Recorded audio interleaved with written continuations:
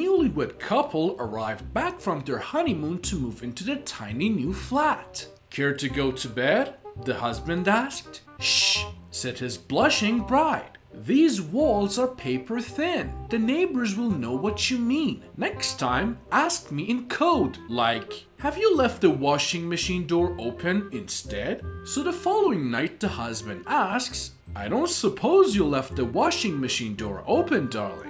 No, she snapped back. I definitely shut it. Then she rolled over and fell asleep. The next morning, she woke up feeling a little frisky herself. So she nudged her husband and said, I think I did leave the washing machine door open after all. Don't worry, said the man. It was only a small load, so I did it by hand.